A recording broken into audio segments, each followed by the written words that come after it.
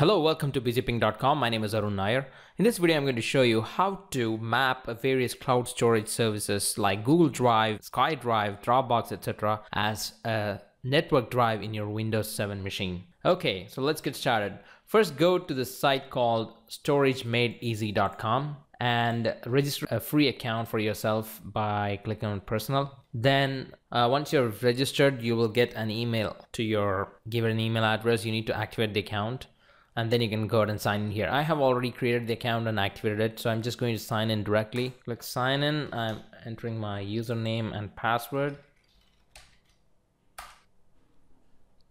So as soon as I log into my storage made easy account, I get this page. So now I can go ahead and add any cloud storage service uh, that I wish. So to do that, uh, click add a cloud provider and then I can select what provider it is. So first I'm going to add my SkyDrive account. So I scroll down to the bottom and I see SkyDrive API, click add provider. And then here I can give a display name. So I can just give it a SkyDrive or any, any name that you wish. And then click authorize SkyDrive API access. Now on this page, uh, I need to enter my SkyDrive username and password. And just click yes I want to authorize and it is just synchronizing. So it says thank you. Your authentication details were correct. Your files are being synced now. So it'll take a little while to synchronize that. And then the meanwhile I can also go to my file manager and I can see my SkyDrive is added here. So if I expand it, I can see all the folders that I have in my SkyDrive.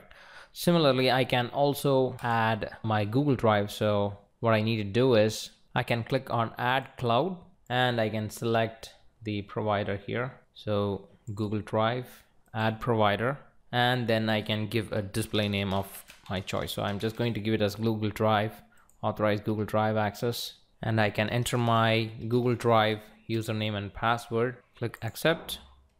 That is it. Google drive is added as well. So it's just uh, synchronizing google drive with uh, storage made easy.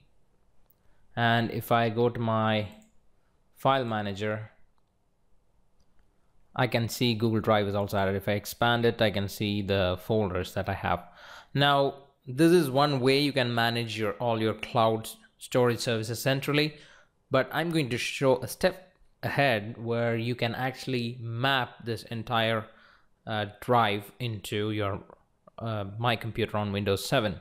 So for that, what you do is click Start, right click Computer, click Map Network Drive, and select a drive letter of your choice. So I'm just going to put this as Z drive and then enter the URL for the WebDAV server of storagemadeeasy.com. So it is https colon slash slash webdav.storagemadeeasy.com and click finish.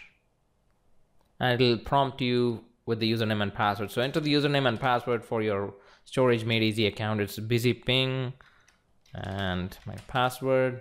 Click remember credentials. Click ok.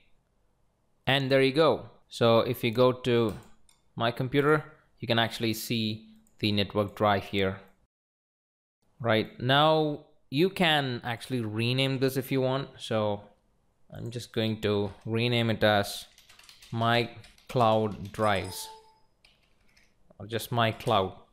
And if I double click I can see my SkyDrive I can see my Google Drive. So if I just double click on SkyDrive I can see all my folders in SkyDrive.